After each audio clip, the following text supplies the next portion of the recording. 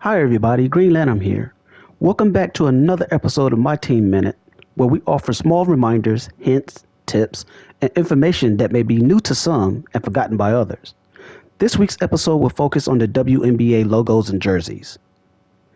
After entering my team, right bumper over to the My Team tab, and then down to My Collection.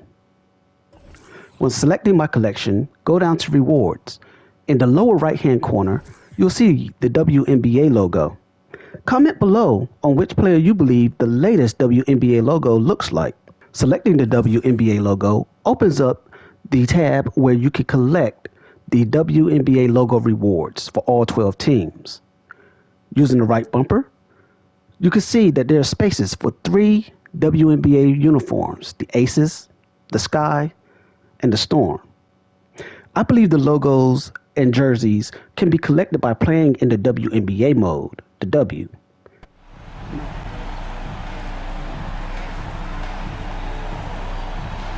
Not only that, but I also believe that these will be capable of being equipped and will give a rather distinct look for online games.